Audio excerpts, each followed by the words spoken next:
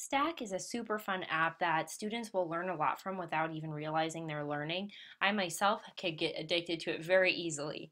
Um, you can press play and you'll see that there the general stack pack is free if you really like it if your students are using it or if you see value to it or if you just get addicted you can also buy more stacks for 99 cents a piece you can go to general and choose a level and I'm just going to tap out of that. That's an ad.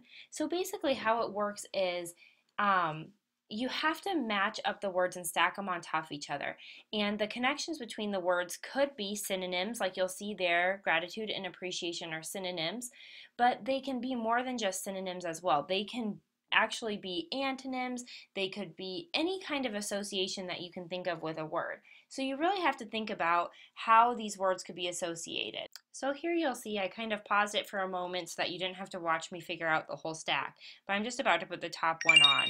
And you'll see that once they get done, they get to move on and they finish that stack. So it's just a really fun game. It really makes you think hard about how words are connected and it really tests your vocabulary as well. So it's a great game to really stretch some of those students. It's a great one to play if they just have free time and have a few minutes to kill.